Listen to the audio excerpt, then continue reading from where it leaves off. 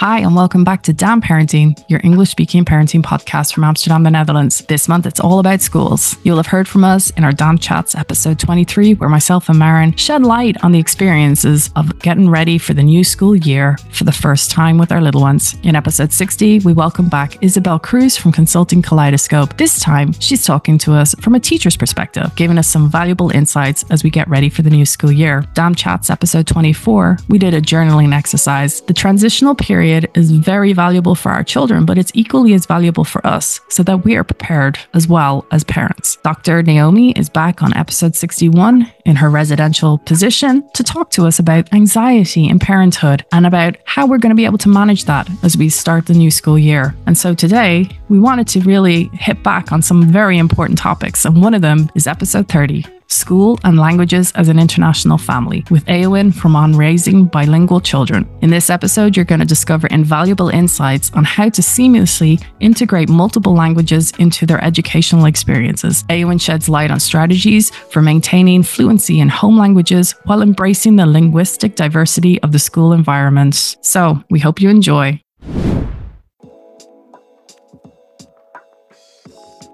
Hi, everyone, and welcome back to Damn Parenting, your English speaking parenting podcast from Amsterdam.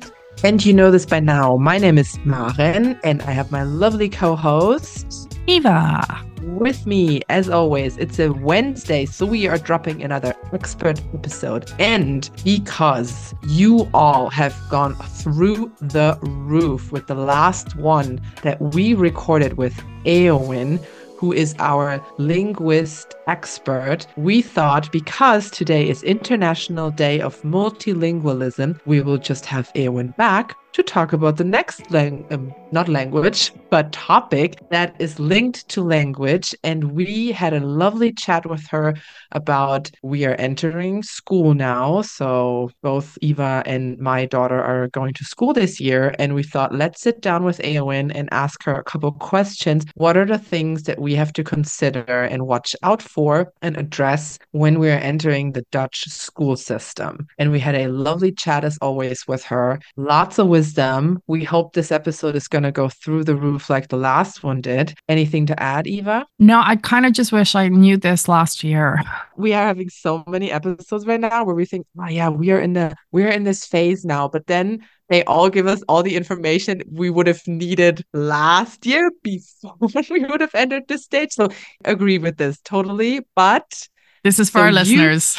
Yes, exactly. We're not doing this for us, right? No, no. But hopefully, this will help a lot of people out there who will be sending their kid to school, to primary school here in the Netherlands. And now they know what to look out for. So enjoy this amazing interview with Eowyn. And we are delighted to have back with us again Eowyn from On Raising Bilingual Children. Good morning. Good morning. It's delightful to be back. Thank you so much for joining us. So, today's episode, uh, as we said, Eowyn's actually going to speak to us about sending our children off to school, which will mean that they're now going to be surrounded with a lot longer potentially in the Dutch language. And our last episode with Eowyn, which honestly was the quickest to scale hit number one episode about our home language, this obviously is going to also resonate with so many parents out there as school starts at any day during the year because the school system here is your child's four, happy birthday. Next day, off you go to school. Eowyn herself actually brought this up on the last episode. She said, you know, this is actually also a very key pivotal moment we should discuss as well about that transitional period. And so, Eowyn, let's get the ball rolling. How about we we discuss first of all what are some common challenges that the our little toddlers are going to face when starting a school in Dutch language, which is going to be different to our home language? Yeah, I mean, I guess the scope of challenges for children ranges from social emotional through to academic and linguistic. And it's really important to recognize that we have this mythical idea of children as language sponges and that they should just be fine and we'll drop them in and they'll soak up the language. But it isn't that straightforward for all children. In fact it's not really that straightforward for any children. And so i think the first really important thing to recognize is that we are adding a level of challenge to our children's education by putting them into school in another language that's not to say it's not the right thing to do, but we need to recognize it and support them effectively if we want to give them every chance for success. And so part of that is just recognizing that it is indeed not an easy situation for many children to be dropped into a school where they don't speak the language and they can't play with kids and they can't say, I'm hungry or I need the toilet. And so we can talk about, you know, immediate strategies for helping our kids communicate. And then we can talk about more widely what that means in terms of language development and acquisition over time. Both are equally important. But the bottom line is that if they don't acclimate well, they'll struggle across the board in other things that's kind of sad to hear straight off the bat, but okay. Which is not how- to say it's not a good choice to make and that it doesn't bring many benefits. We just need to recognize that those benefits, in part, are dependent on giving them the kind of support they need to thrive rather than just expecting that it will all be fine and we don't need to do anything. And so, although I do kind of chastise parents occasionally for, you know, pretending it'll be easy, it's more because the the extent and the depth of the support we give them will have a significant impact impact on how they experience it. And on the last episode, we talked so much about how important it is so that when they acquire a new vocabulary or getting further in the other language, that we always provide the context. So, is it then useful if before they go to school, we kind of practice with them the sentences that they should say or the vocabulary? Or is this then because it doesn't really have a context and they can't really apply it that it doesn't even do anything? Or should we prepare them with this vocabulary beforehand? Less than preparing them with vocabulary is preparing them for the experience. Um, mm-hmm. You know, in in a very kind of child friendly four year old way that you're going to be going to school and that people are going to speak in different ways. You know, many children if not most, have had some exposure to Dutch before they start school age. You know, they've been to play groups or Peuterspeelzaal, or you know, it's not completely brand new to them. Yeah. So just discussing it in terms of, you know, you've been to swimming lessons and they this is how they say things to help them make those connections with where they've already heard it is important. And then I think more than preparing the child, it's preparing the teachers. And so it is really important for teachers to know about your child, what they like, what they can do, how strong they are in their own language, because we do know that children who come into schools, language learners tend to be underestimated because the teacher can't see how much they know about certain things. They presume they don't know it. Uh, and so I think really it's the relationship with the teachers we need to build so that less perhaps than supporting them in language development before they go in, it's how we support them in language development while they're learning Dutch at school. So that means, you know, having the story that they're reading at school and, and reading it at home in their own language, knowing that they're going to be talking about the seasons and talking about the seasons in your own language and, and helping them yeah, acquire a bit of vocabulary in Dutch. I mean, your job is never to be the Dutch teacher. Mm-hmm. But insofar as you can support your children in understanding what's going to be happening in Dutch, then they can kind of open up to being able to learn the words to go with it. But you can imagine being sat in a class and the teacher's talking about something and you don't know what she's talking about and you don't know the words it's in, you're not learning anything. But if you know that the teacher's talking about seasons and you know what seasons are in English or in German or in Polish, then you can be listening for those words in Dutch and you can learn them. And so it's about that scaffold, if you will, that they have at home through the home language to the school content that's really, really important in supporting the language development. Yeah, it's so great that you repeat this again because it's such a big shift to make in my mind where you where I think oh I need to prepare them in, in Dutch and I give them and do all that but I now remember that you said exactly this in the last episode that the home language is the base for everything and that makes yeah again total sense that I then would be talking about the seasons in German and then she gets the oh we talk about the seasons oh this is then the Dutch layer on top of it thanks yeah. so thank you again for this yeah. reminder because this is so hard in my head to to understand, but it of course makes so much yeah, sense. It's just a basic principle. Knowledge in one language transfers to another. Yeah. So yeah. if I know something in Dutch, I know it in any language. I just need the words. If I know something in German, I know it in any language. They don't have to recreate knowledge. They mm-hmm. only have to recreate the new words and structures for that knowledge in a new language. I actually love that. I'd love to print that off. That's such a good quote to have. Are there any differences in language acquisitions between the toddlers who start learning a second language at home versus those who started in school? I mean, yes, there there are always differences depending on the age of acquisition, but it's less about, you know, we need a lot of language input in order to develop it robustly. And so, you know, doing 15 minutes of Dutch a day isn't going to make a substantive difference to a child who's not been exposed to Dutch before going to school. You'd need to do, you know, hours of Dutch a day. And so really looking at the home situation, what are the languages of the home? How much time and effort is needed to develop those and getting that right first without you don't want to take away time from a bilingual home in order to learn the school language when that can be done effectively at school. But if you have Dutch in your home, then of course your child is not, a, you know, a newbie to Dutch, if you will. They're not a beginner to Dutch when they start at Dutch school. Depending on which parent speaks Dutch, they may be stronger in Dutch or stronger in the other language, but they they wouldn't be considered a Dutch as a second language or an additional language learner if they've had it in the home from birth. It would be considered one of their first languages. And so kind of contextually and in terms terms of the research that that is different. But the bottom line is rich rich input helps language acquisition happen.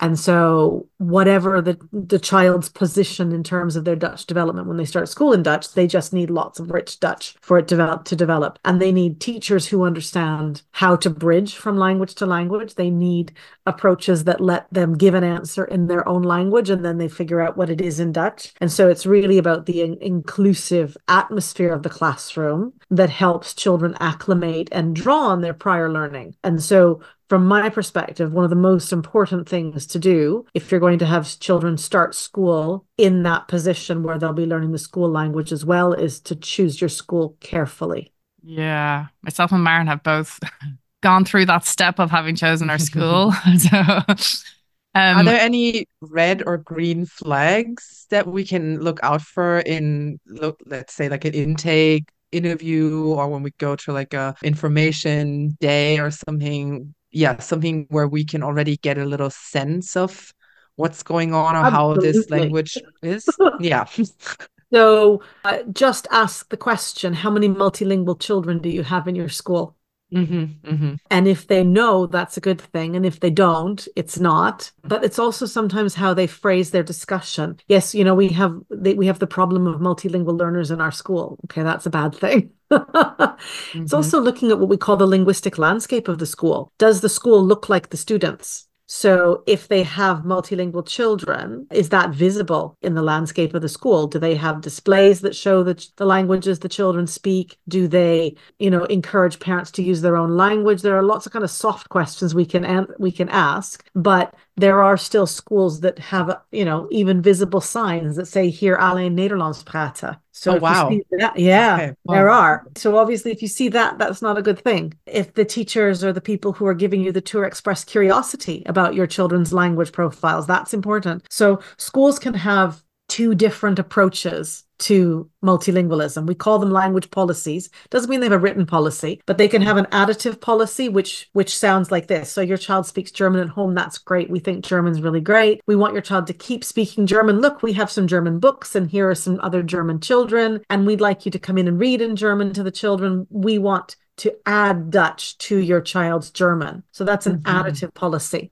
Mm-hmm. We want your child to keep what they have, and we're adding Dutch. A subtractive policy can sound on the surface quite similar, but it diverges in one key way. So they might say, We think German is great. We want your child to keep speaking German. German is obviously really important for them to use at home, but here at school, we want them to learn Dutch. So that's what we call a subtractive policy. We want to replace here at school your child's German with Dutch. And so children tune into those messages and mm-hmm. they use it to assess the the relative value of their languages so a language has value if the people around my different contexts value it. So if my teachers think German is cool and can I help them learn to say good morning in German, then obviously German has value. But if my teachers say to me, you shouldn't be using German at school, you should only use Dutch, then my German doesn't have value. That child perception of the status of their languages plays very heavily into their choice to either continue using it or to try and learn Dutch quickly and stop using it. And so we know that has a really significant impact on, on development. And so it's just looking for anything that will give you insight into that school. Do they have an additive or a subtractive policy when it comes to students' other languages?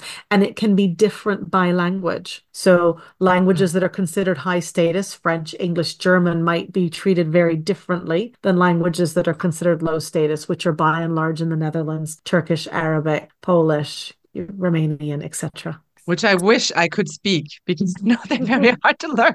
Anything, anyone who can speak them without going through actually like sitting down and learning them is blessed, in, yeah. in my opinion. So, are there any common misconceptions or concerns parents should be aware of regarding the bilingual children's language development as they're going through Dutch schools? So I think the first really important thing is that vocabulary development is by and large divergent in multilingual learners. That means they don't necessarily know the same words in every language. They learn a word because they happen to need it in that context. And so that means they'll have words in the home language that they don't have in school language, and they'll have words in the school language that they don't have in the home language. Very often in schools, particularly in the Netherlands, and I would say particularly in Amsterdam, there's been a tendency to measure children's vocabulary at certain points to decide on their progression. So, can they go to group three? Do they have the vocabulary they need? But if they measure that vocabulary only in, in Dutch, of course, children who don't live in Dutch will measure underperforming because they don't know words about, for example, the kitchen or the lounge or the living room in Dutch. And so it's really being very clear with your child's school about their language development in their own language. And that idea of, you know, really getting the whole picture of a child's development requires looking at their vocabulary across languages and not only in the school language. And so that's a big piece of the kinds of the advocacy conversations we need to have because schools will measure you know, they'll have a list of whatever 75 words children should know by this age, and they expect them to know them all in Dutch. And that's not reasonable or effective as a measure. Do you think that's a question we could put to the school?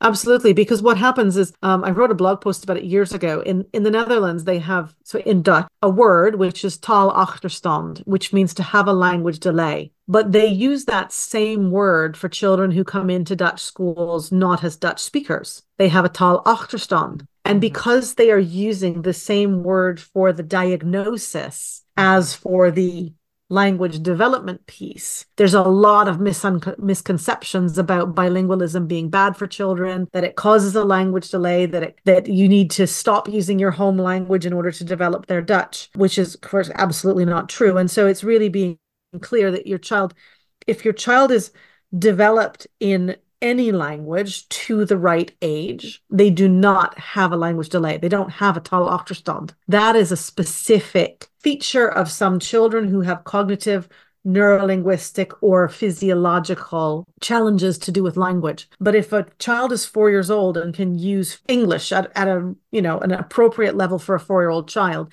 they don't have a taalachterstand. They may be developing their Dutch. They may be Dutch language learners. And so it's really making sure that in our conversations with the school, we don't let them conflate those two things because what ends up happening is parents who hear that oh my child has a language delay. I'm, I'm so worried. What should we do? And then the school says well you should start start speaking dutch at home to help them. So they take that advice and it still happens really commonly. It's not it's not uh, you know infrequent at all. And then you end up with a child whose home language starts to slow down in its development and that has a negative knock-on effect on their development of Dutch as well. And so it goes back to I think we talked a little bit about last time. You do need to know the research a little bit because otherwise, when the school says, "Oh, your child has a taalachterstand," everybody gets worried and all the wrong things happen. Whereas if you know, actually, you can say, "No, my child doesn't have a taalachterstand. They are a Dutch language learner, but it's not an achterstand." And just that level of you know precision that you're able to bring to the conversation can help avert some of the really quite common misdiagnoses and and mis treatment of multilingual children in schools.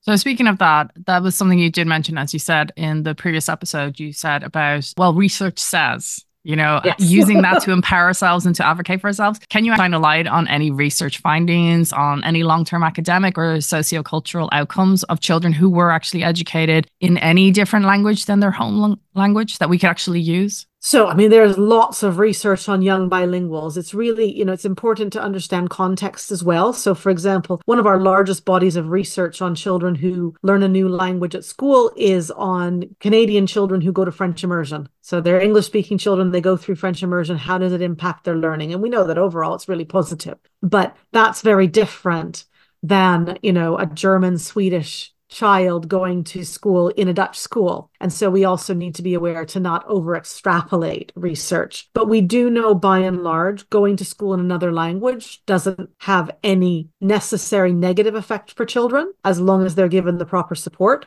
we do know there's a lot of kind of noise out there about cognitive benefits of bilingualism and that it will make children smarter and that it will make them better thinkers and decision makers. That research is actually much less substantive than the interwebs likes to, you know, present it as. There seem to be potentially some cognitive benefits, but what those specifically are and at what level of bilingualism they accrue, we don't know. And so I encourage parents to move away from expecting cognitive benefits and to recognize that actually there are linguistic benefits to learning another language at school when you're younger, and there are social benefits. And so the linguistic benefits are, especially if you're living in the Netherlands, well, you get to participate in Dutch life because you learn Dutch to a very high level going to school in Dutch. That's really, really important. So that's for me the first and most important benefit. Aside from that, we know that children who are bilingual from a younger age have a tendency, tendency, not a guarantee, to be better at learning new languages le- later in life as well. So there seems to be some kind of positive effect that if my brain has managed, you know, to cognitively sort out two languages at a young age, I'm better at it later on as well you know if they do want to go on and learn other languages that they'll have an advantage there's also social benefits from becoming bilingual at a younger age that are to do with the way that children interact with the world around them, the way they treat people who are different than them, the way they communicate, all of those other benefits. And so overall it's a it's a really good choice to make. We just need to be sure that we're providing our children with the support to be successful and not just relying on that hopeful analogy that they'll be a sponge and soak it up.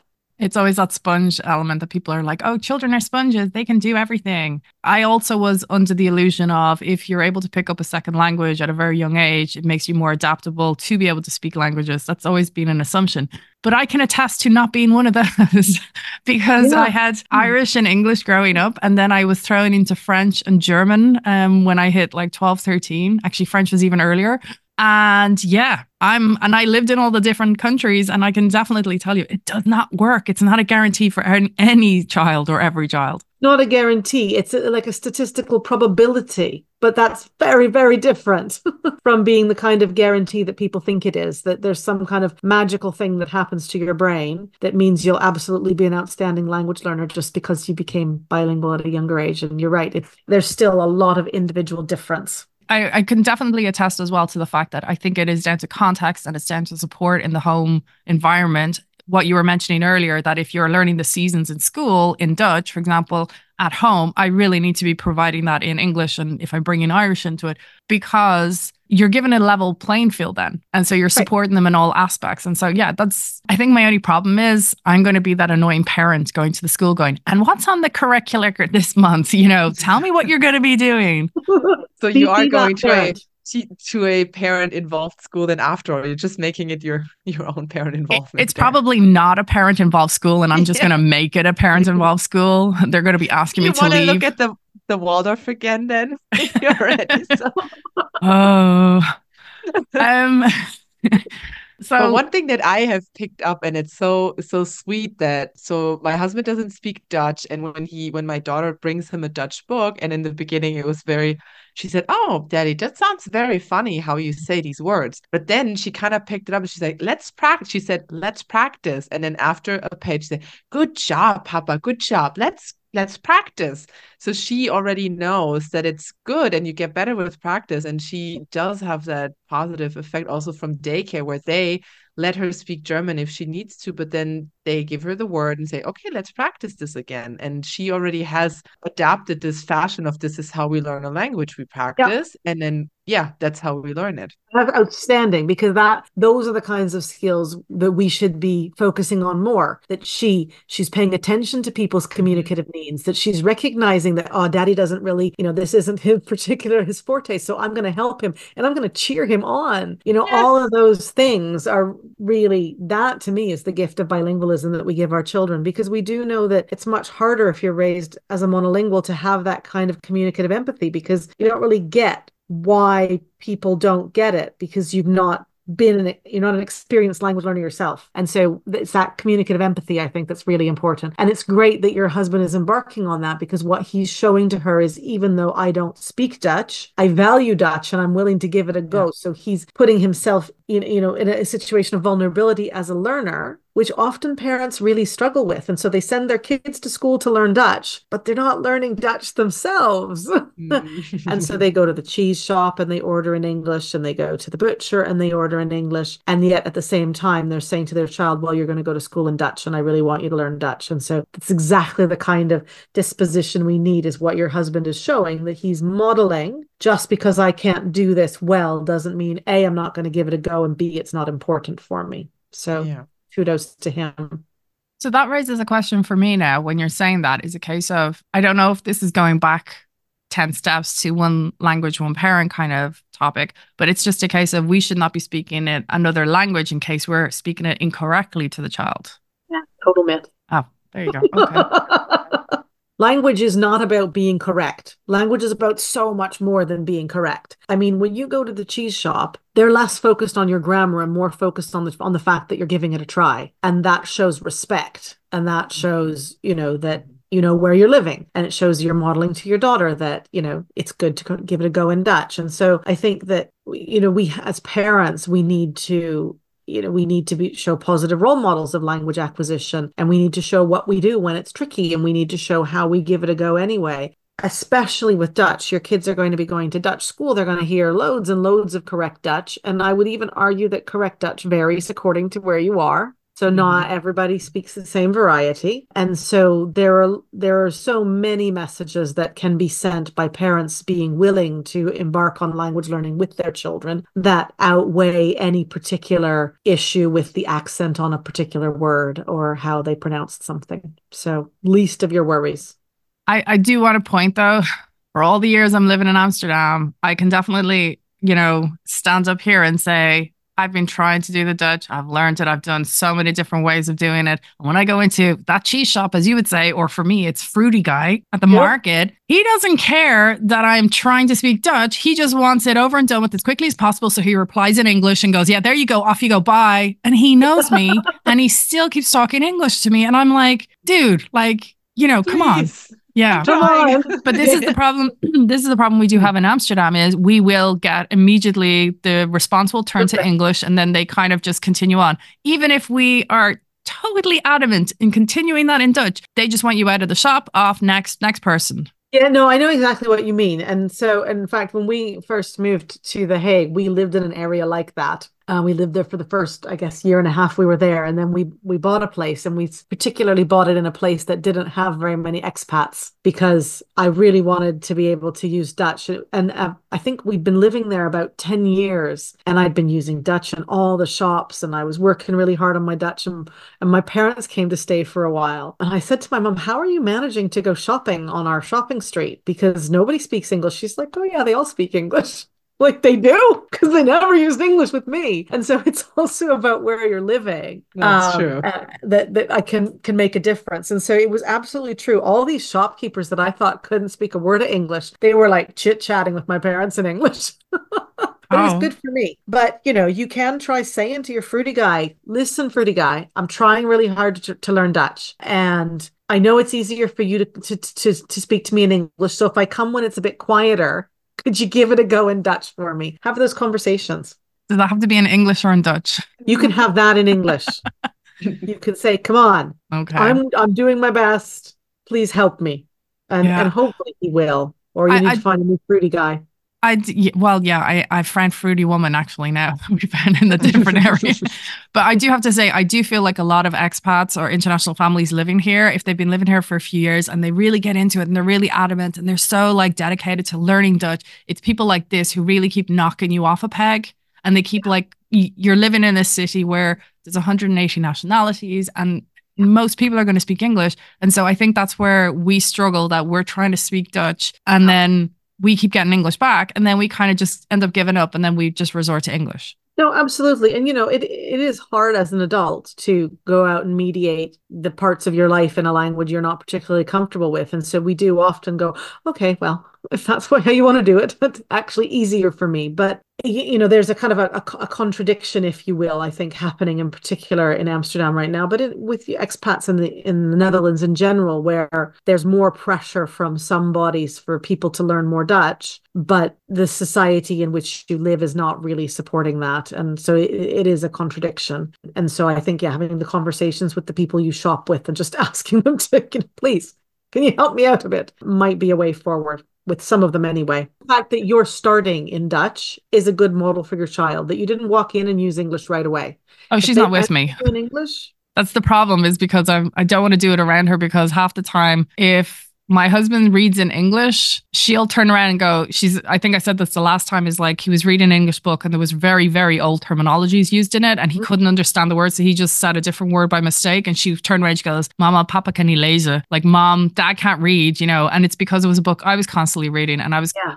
I think I'm afraid of my daughter giving out to me. Maybe that's what it is. Well, but then you need to set up better family language conversations about language learning then you need to you know just i mean she's old enough to have those conversations. Yeah you so your daddy isn't an english speaker and it's not his strongest language and so he's reading a book in english with you so you got to be proud of him for giving a go. And when i go to the cheese shop and i order in dutch you know that's not my comfortable language but we all sometimes have to you know make we make mistakes because that helps us learn. And so that is a conversation you need to start having with your daughter because she needs to become an empathetic empathetic language partner for you and for your husband rather than a, a, a judgmental one. an empathetic toddler. Never knew this. Um, well, start now and she'll develop into one. True. Going back to the school, so we've discussed about entering into school at the age of like four or five, and how you've given some great tips about when we're even viewing schools to kind of ask them about that language area, how we can actually see it through our own eyes as well. And equally, we discussed as well parallel learning, as it were, where they learn the seasons in school, they can learn the seasons back with us. If we progress a little further, are there any specific challenges or adjustments bilingual children may actually encounter as they go on from the early years, those grade one and two, into grade three, four, five, and beyond? So, I mean, there there are various things that happen in schools that provide an additional level of challenge for children who are multilingual. So, the the first of those is literacy. So, it's one thing to be learning to to speak a language at school, and then all of a sudden you need to learn to read and write that language. And we know that a really good thing about the Dutch school system is that they teach reading and writing in Groep 3, which is the right age to teach reading and writing. So, six to seven is when most children are cognitively ready for reading, and that gives children who come in in Group One two years just to learn Dutch before they need to learn to read in Dutch. And that's hugely beneficial. However, it doesn't mean that in two years they're going to be functioning at the same level as a Dutch speaking child. So they're still learning to read with a lower level of vocabulary development and a not as well developed understanding of the Dutch sound system. And so it is the case that sometimes kids will seem to lag behind in early literacy skills which is just a fact of their you know their their situation of being language learners. It's nothing to do with whether or not they're able to be literate. And so there may be more conversations to have with your children's teachers there about you know making sure that are you know if they want to say your child has a reading difficulty what are they basing that on? And is it on more than just they're not reading at the same level as a dutch child because your children shouldn't be measured against dutch children?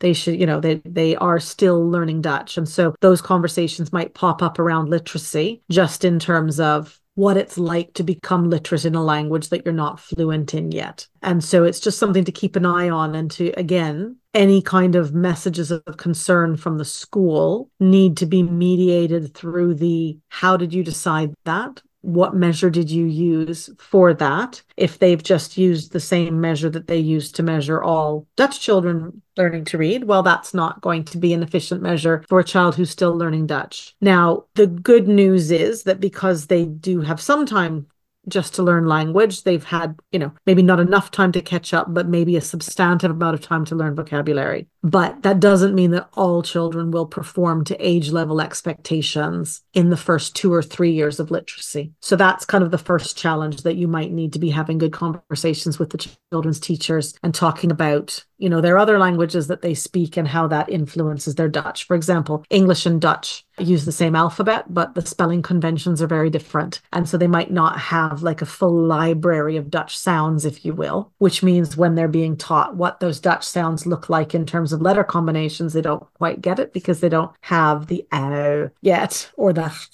yet. And then the second kind of area of challenge comes towards the end of primary school with the CITO toets. So you guys are parents of young children. You probably don't even know what the CITO toets yet is, but the CITO toets is a test that all Dutch children do at the end of primary school. It's a wide-ranging test of their Dutch language skills, their mathematical skills, and it is used to decide what which of the three levels of secondary school they should go to. And it is an extremely Dutch test.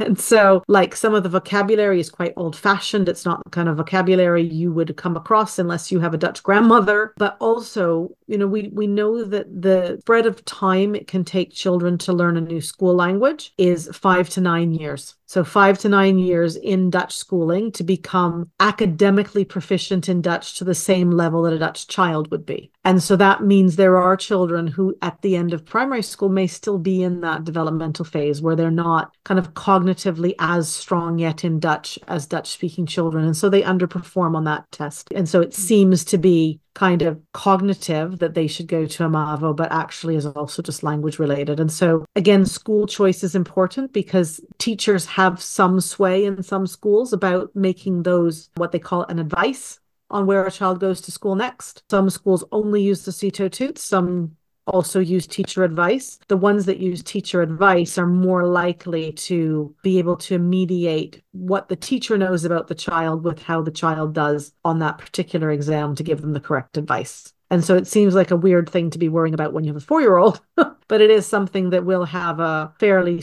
you know fairly long term effect on your child and we do know that statistically there are groups of children that are allocated to the lowest level rather than the higher levels and those tend to be the immigrant minority language speaking children so. Slightly depressing but uh hopefully but, but knowledge is power Indeed. You know, and hopefully in the coming power, knowing that it's coming, hmm. knowing your child, knowing their trajectory is really important in being able to mediate those discussions and to get your child into the right school for them. But it, I've worked with many, many families over the years who have children in Dutch education who have come across this to their surprise and not realized that actually their child won't get to choose what level of secondary school they go to. It is dictated by this particular test in a lot of schools. I've heard some bad stories about it. Yeah, unfortunately, the hope is that in the next five to 10 years, there might be a, a, change or a reform of the system. But again, this is down to a government and we'll have to wait and see. One can hope. Yeah, drag them into the 21st century. I guess we're going to end this asking you for some of your golden nuggets and basically just going back to people considering their schools, essentially. So, what advice would you actually have for parents who are considering sending their children to the local Dutch school of whatever education style they choose,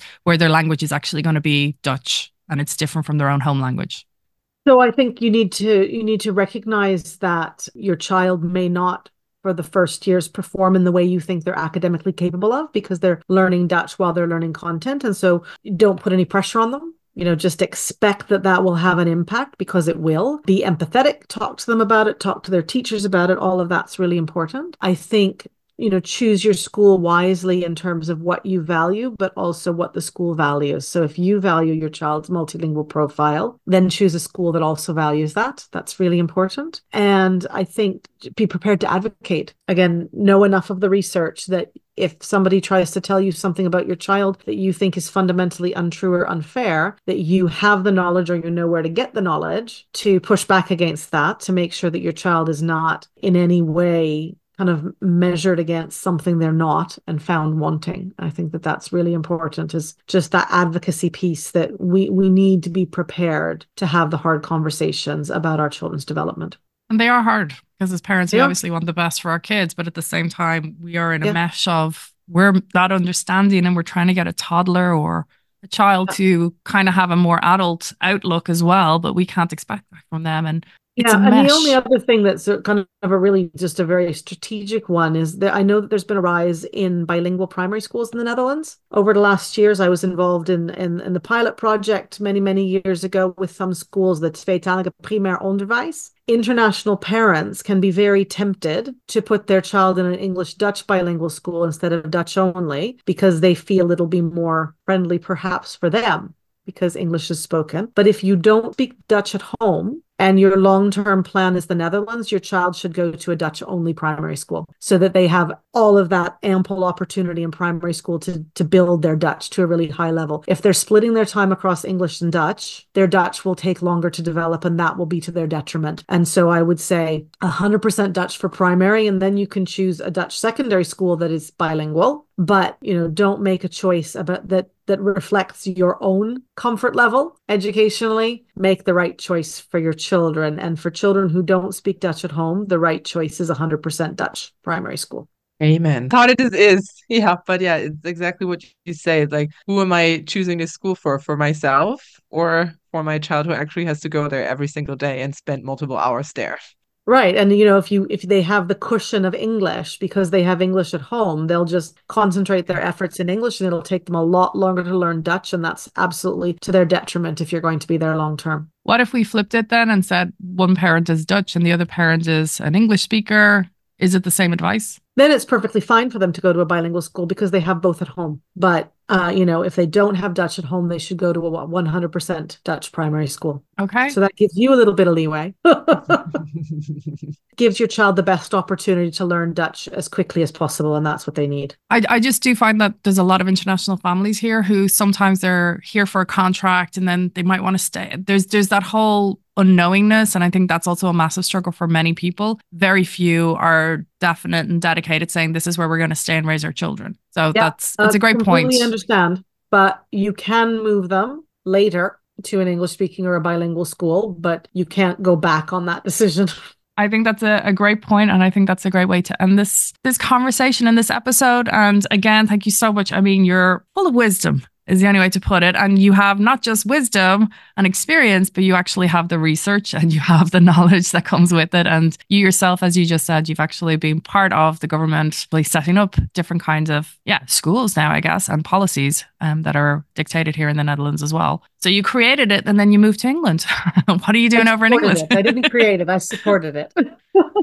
Great. Well, thank you again. Yeah, we're going to be having to think of the next topic that we're going to have to get you back on for. Always a pleasure. Super. Thank you so much. Bye. Thanks.